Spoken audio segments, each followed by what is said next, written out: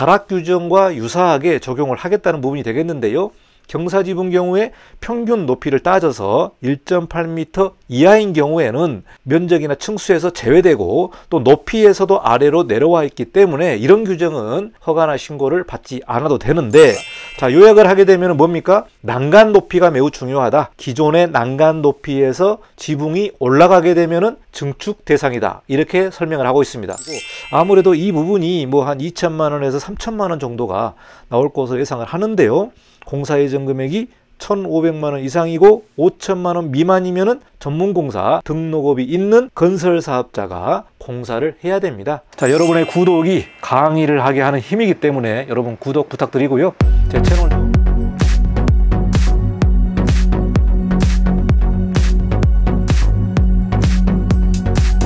네, 안녕하십니까. 이건영 건축사입니다. 이번 시간은 옥상 지붕을 설치하려면 어떻게 해야 되는지 설치 공문서를 여러분과 같이 공부해 보도록 하겠습니다. 최근에 국민권익위원회에서 합천군에 의결한 내용이 있습니다. 옥상 지붕, 즉 비가림 시설에 관련된 내용인데요. 비가림 시설의 높이가 다락 기준 이하일 경우에는 이행강제금을 적용할 때에 경미한 내용으로 적용해라. 또는 시정명령에 관련된 행정처분을 유예해라 이런 내용으로 제가 영상을 좀 내보냈습니다. 자 그러면서 이 내용을 제가 여러 지자체를 좀 찾아보니까요. 비가림 시설 즉 옥상 지붕에 관련된 설치 공문 안내서가 있습니다. 그래서 그 설치 공문서를 좀 여러분에게 공개를 하면서 옥상 지붕을 설치하려면 어떻게 해야 불법이 아닌지 그 내용을 좀 살펴보도록 하겠습니다. 제가 옥상 지붕 즉 비가림 시설에 관련된 내용을 여러 지자체 홈페이지를 좀 살펴봤는데요. 진주시청, 창원시청, 김해시청, 남해시청 주로 경남권에 있는 지자체에서 비가림 시설 설치 시 건축 허가 신고 이런 안내문을 홈페이지에 게재를 하고 그 파일을 올려놨습니다. 자, 진주시청은 21년 9월 정도로 예상이 되고요. 창원시청은 2024년 2월, 김해시청도 2024년 2월, 그리고 남해시청도 2024년 3월에 이 내용을 홈페이지에 올려놓고 국민들에게 홍보를 좀 하고 있습니다. 자, 그래서 이 내용이 두 페이지로 구성이 되어 있는데요. 제가 이 내용을 하나하나씩 여러분에게 소개를 좀 해보도록 하겠습니다. 자, 이 내용이 많은 민원이 있고 또 서로가 불편하기 때문에 이렇게 홈페이지에다가 안내를 해 놓고 있습니다. 그래서 이 내용을 잘 살펴보시고 이렇게 안 하시면은 여러분이 불법 건축물이 된다. 이 내용을 좀 다시 한번 살펴보시고요.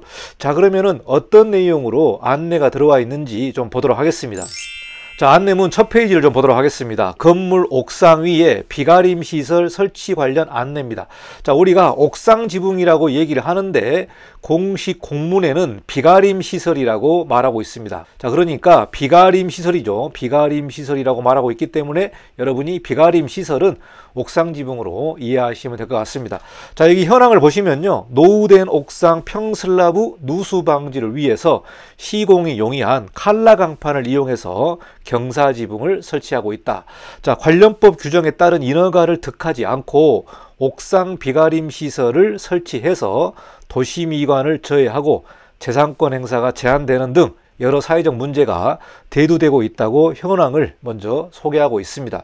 자, 여기서 보시면은 근거 법령이 건축법 11조의 허가와 14조의 신고 규정, 그리고 건축법 시행령의 2조 증축에 관련된 부분이 여기서 나옵니다. 증축은 높이와 면적과도 관련되어 있기 때문에 이 내용이 이제 불법 건축물과 관련된 부분이 되겠습니다. 자, 그리고 건산법에 건설업 등록 관련 기준이 있는데요. 자, 이 내용이 뭐냐면 건설공사의 시공자의 자격 조건이 되겠는데요. 일정 규모 이상이 되게 되면은 건설공사업을 등록을 해야 되겠습니다. 이렇게 근거 법령을 소개를 하고 있는데요. 이 세 개 법령을 가지고 규제를 하고 있다. 이렇게 여러분이 이해하시면 될 것 같습니다. 자, 그리고 주요 내용을 보시면요. 건축 허가와 신고 안내가 있는데요. 비가림 시설을 설치하는 행위가 증축에 해당되는 경우에는 건축주는 시장이나 군수에게 허가를 받거나 신고를 해야 됩니다. 이렇게 나와 있고요. 증축은 높이가 증가하거나 면적이 증가하는 경우에는 증축에 해당이 됩니다. 그래서 높이를 높게 올리면은 증축에 해당이 되기 때문에 이런 경우에는 시장이나 군수에게 허가를 받고 신고를 해야 됩니다. 자, 여기서 다락 규정을 참고로 말하고 있습니다. 다락 규정은 층고가 1.5m, 경사진 형태의 지붕인 경우에는 1.8m. 자, 그러니까요. 다락을 만들 때 평지붕으로 만들 때는 1.5m고요.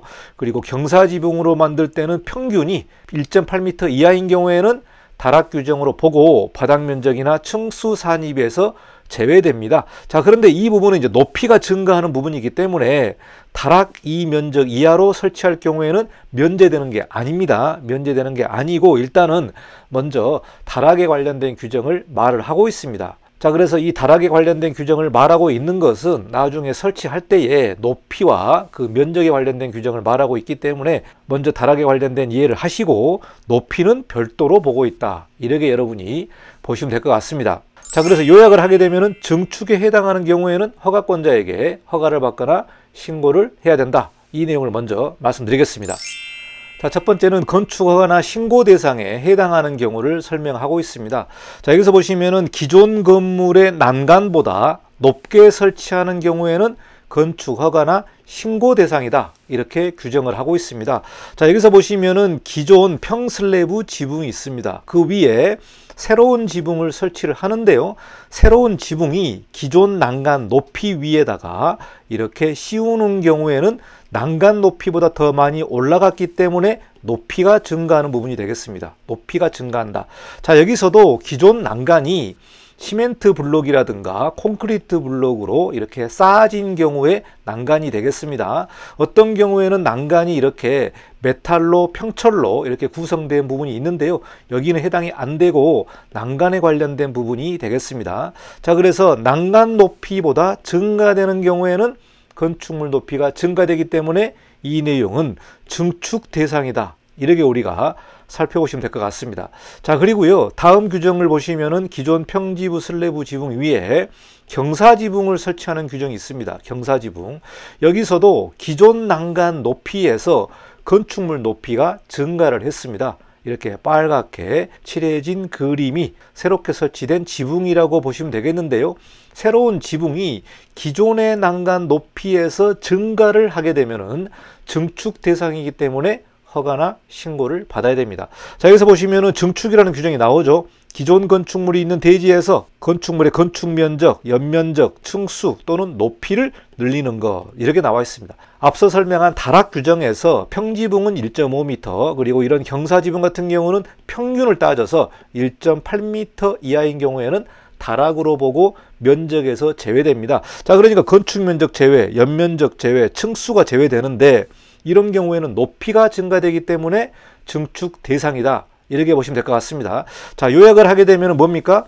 난간 높이가 매우 중요하다. 기존의 난간 높이에서 지붕이 올라가게 되면은 증축 대상이다. 이렇게 설명을 하고 있습니다. 자, 그런데 이 경우는 난간 높이보다 아래에 지붕을 설치하는 경우가 되겠습니다. 자, 여기서 보시면은 기존 평슬래브 지붕이 있고요. 기존 난간 높이가 상당히 많이 올라와 있는 경우가 되겠습니다. 난간이 올라와 있는데 새로운 지붕을 설치를 했는데 이 새로운 지붕의 제일 높은 부분이 난간 아래에 있습니다. 난간 아래에 있기 때문에 이 건축물의 높이가 증가를 하지 않았습니다. 자, 높이 부분은 증가를 하지 않았는데 여기서 뭐라고 나오느냐? 층고가 1.5m 초과하는 경우는 평지붕이 됩니다. 평지붕은 층고가 1.5m고요. 경사 지붕 같은 경우는 1.8m를 초과하게 되면은 건축 허가와 신고 대상이 들어가게 된다. 자, 이 내용은 뭐냐? 다락 규정과 유사하게 적용을 하겠다는 부분이 되겠는데요. 경사 지붕 경우에 평균 높이를 따져서 1.8m 이하인 경우에는 면적이나 층수에서 제외되고 또 높이에서도 아래로 내려와 있기 때문에 이런 규정은 허가나 신고를 받지 않아도 되는데 자 이렇게 경사지붕을 설치를 했을 때 평균 높이가 1.8m를 초과하면은 초과하면은 허가와 신고 대상이 된다. 자, 이 내용은 뭐냐? 결국은 층수와 면적에 관련되어 있기 때문에 층수 증가와 면적이 증가되면은 허가와 신고 대상에 들어가기 때문에 이 부분은 인허가 절차를 밟아서 진행을 해야 되겠습니다. 자, 두 번째는 건축허가 신고 대상에 해당하지 않는 경우입니다. 자, 그러니까 해당 군청이나 시청에 신고하지 않고 그냥 집주인이 바로 설치를 하시면 되겠습니다. 자, 이 경우는 뭐냐? 기존 난간 높이가 나오죠. 기존 난간 높이 이하로 설치를 해야 됩니다. 즉, 높이 증가가 없어야 된다. 높이 증가가 없고 기존 평슬래브 지붕 위에다가 새로운 지붕을 설치할 때 높이 증가 없이 경사 지붕으로 이렇게 설치를 할 수 있겠습니다. 자, 오른쪽 그림을 보시면은 기존 난간 높이 아래에 새로운 지붕을 설치를 했고요. 경사 지붕으로 이렇게 설치를 했습니다. 경사 지붕으로 설치를 하면서 기존 난간 높이 아래에 설치하는 경우에는 허가나 신고 대상에 해당하지 않는다. 자, 그리고 여기에 경사지붕을 봤을 때 층고가 1.5m, 경사지붕 같은 경우는 1.8m 이하야 됩니다.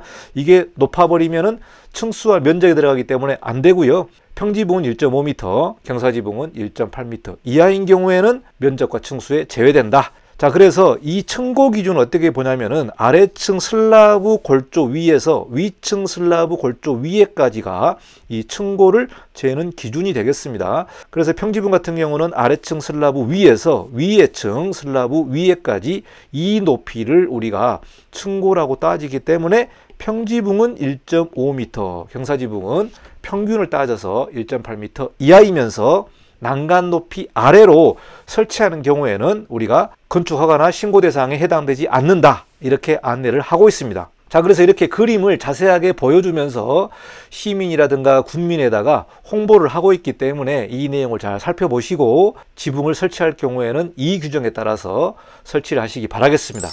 자, 그 다음은 이행강제금과 벌칙에 관련된 규정이 되겠습니다. 자, 이행강제금 같은 경우는 불법 건축물, 즉 위반 건축물에 걸려서 시정명령이 나오죠. 시정명령이 나왔는데 시정명령을 미이행할 때는 즉 원상복구를 하라고 명령서가 나왔는데 그거를 안 하는 경우가 되겠습니다. 자 그래서 시정명령 미이행 시 시가표준액의 100분의 50에 해당 금액에 대통령령으로 정하는 비율을 곱한 금액 이런 내용들을 제가 지난 영상에서 한번 얘기를 했습니다. 자 그런데 2024년 4월 22일에 국가권익위원회 의결에서 다락 기준 이하이고 그 하부 공간을 사용을 하지 않았다면 이 내용도 매우 중요합니다. 다락 기준 이하의 높이로 설치를 했는데 그 아래를 뭐 다른 용도로 사용을 했다면 이게 해당이 안 됩니다. 자 그런데 다락 기준 이하의 높이이면서 그 아래 공간을 사용하지 않았다. 그러니까 그냥 단순히 비가림 시설을 설치한 경우에 이 내용이 되겠습니다. 자, 다락 기준 이하이면서 사용하지 않은 경우에 이 내용은 위반 건축물이지만 경미한 사항으로 이행강제금을 부과하라고 공고를 하고 있습니다. 자, 이러기 때문에 무단 증축, 무단 증축으로 가는 것과 경미한 사항으로 가는 것에 따라서 이 이행 강제금이 10배 차이가 난다고 지난 영상에서 제가 말씀드렸습니다. 자, 그래서 이 국가권익위원회에서 이렇게 의결하고 공고를 했기 때문에 만약에 경미한 사항으로 이행 강제금을 부과한다면 조금 작게 나올 것으로 예상이 되고요. 경미한 사항으로 이행 강제금을 부과하거나 또는 이행 강제금의 행정처분을 유예해라. 그러니까 잠시 미뤄둬라. 이런 식으로 공고를 하고 있습니다. 자, 그래서 이 공고 사항을 가지고 아마 법령이 정비될 것으로 예상이 되지만 현재까지는 지자체별로 불법 건축물로 단속하는 것도 있고 아니면은 좀 유예하는 것도 있고 경미하게 하는 것도 있습니다. 자, 그래서 4월 22일 날 나온 국가권익위원회 의결이 합천군에다가 보낸 거죠. 합천군청에다가 보낸 의결 사항이기 때문에 이 내용은 지난 영상을 좀 살펴보시기 바라겠습니다.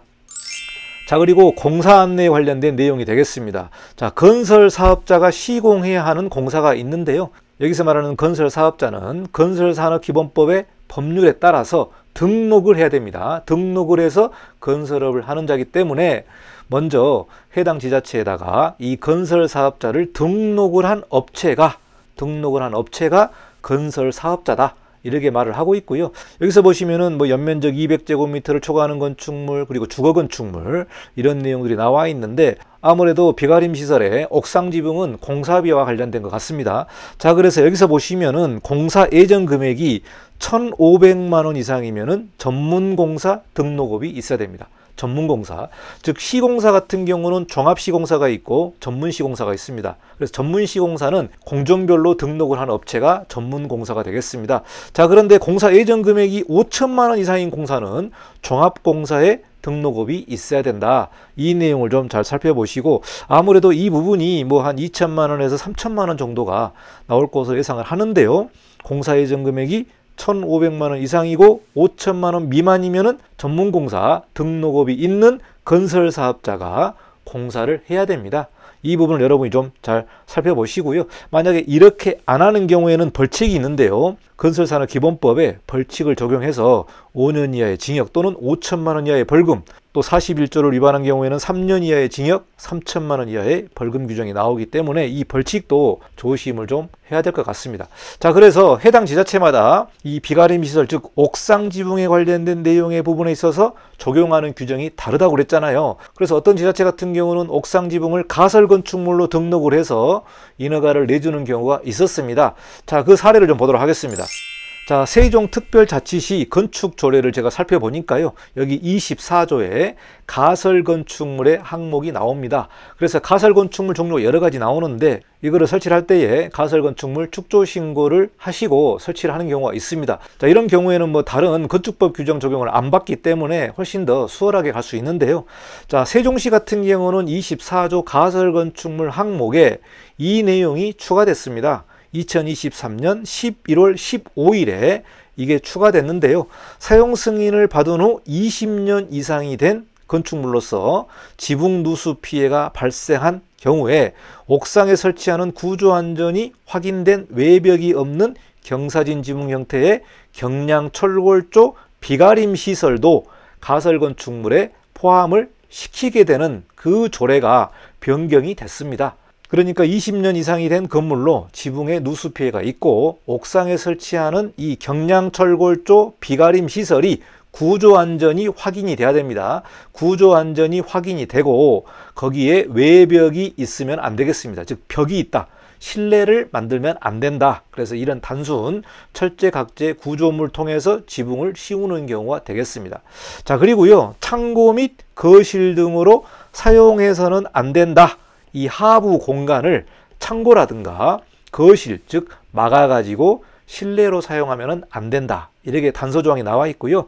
비가림 시설의 최고 설치 높이는 1.8m 이하로 하고 지붕 하단부 설치 높이는 1.2m 이하로 해야 된다. 자, 여기는 다락 규정을 적용하는 게 아니라 비가림 시설 즉 옥상 지붕의 최고 높이가 최고 높이가 1.8m 이하로 해야 된다. 그리고 낮은 부분 그러니까 지붕 하단부의 설치 높이는 1.2m로 해야 되기 때문에 이렇게 높이 규정을 구체적으로 마련을 해 놓고 있습니다. 자 이렇게 설치하는 경우에는 세종시 건축조례에 따라서 가설 건축물이기 때문에 건축 증축이 아닙니다. 증축이 아니고 가설 건축물 축조 신고를 하게 된다. 이렇게 여러분이 이해하시면 되겠습니다. 자, 그래서 여러분의 해당되는 지역에 건축 조례를 한번 확인하시고 아니면은 그 건축가에 전화해서 이 부분이 가설 건축물인지 다시 한번 좀 확인을 해야 되겠습니다. 그래서 해당 지자체별로 옥상 지붕을 적용하는 부분이 다르다. 이 내용의 사례를 여러분에게 소개를 했습니다. 자, 그래서 결론은 해당 지자체마다 옥상 지붕, 즉 비가림 설치를 가설 건축물로 적용하는 경우 즉 세종시죠. 세종시 같은 경우는 가설 건축물로 적용을 해서 좀 완화시켜 주는 부분이 되겠습니다. 자, 이런 경우가 있기 때문에 여러분이 해당 지자체 건축과에 꼭 방문해서 한번 협의를 해보시기 바라고 가설 건축물로 좀 바꾸시려면 여러분이 많은 민원을 넣어야 됩니다. 그래서 이 부분은요 해당 지자체 의회에서 의회에서 입법 발의를 통해 가지고 조례를 바꿉니다. 여러분이 시의원이나 구의원을 만나서 입법 활동을 좀 하셔가지고 건축 조례를 좀 바꾸자. 세종시 같은 경우도 이렇게 가설 건축물로 바꿨지 않느냐 이러면서 여러분이 시의회를 설득을 해야 됩니다. 그래서 이 조례를 바꾸려면은 시의회에서 바꾸기 때문에 해당 지자체별로 적용하는 내용이 다르다. 이 내용을 확인하시기 바라겠습니다. 제가 앞서 설명한 공문서 파일, 자, 2페이지로 구성되어 있는 공문서 파일, 즉 설치 안내문이죠. 공문서 파일은 댓글에 주소를 제가 남겨놨으니까 거기 들어가셔서 다운받으시기 바라겠습니다. 자, 그리고 그 내용을 가지고 여러분이 불법 건축물에 안 걸리려면 그대로 하시면 됩니다. 그대로 하시고 이 내용을 좀 보여주고 아무 문제 없도록 잘 처리하시기 바라겠습니다. 자, 여기까지 옥상 지붕 즉 비가림 설치에 관련된 구체적인 설치 조건 그리고 세종시의 가설 건축물에 관련된 건축 조례를 여러분에게 소개를 했습니다. 자, 여기까지 마치고 다음 영상에서 다른 내용으로 또 뵙도록 하겠습니다. 여러분의 구독과 좋아요를 부탁드리겠습니다. 감사합니다. 이건용 건축사였습니다.